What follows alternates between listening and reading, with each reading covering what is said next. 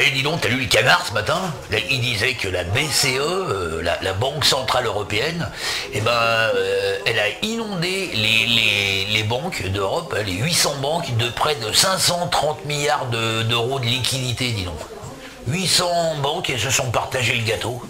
530 milliards, dis donc. Oh, oh. Ça se trouve, je verrai jamais autant d'argent euh, d'un seul coup, moi.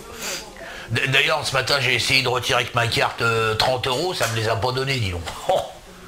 Oh, non, mais c'est parce que les, distributeurs, ils sont peut-être pas encore au courant, c'est pour ça. Non, mais tu sais, le, QI d'un distributeur de, pognon, hein, ça, ça, va pas loin.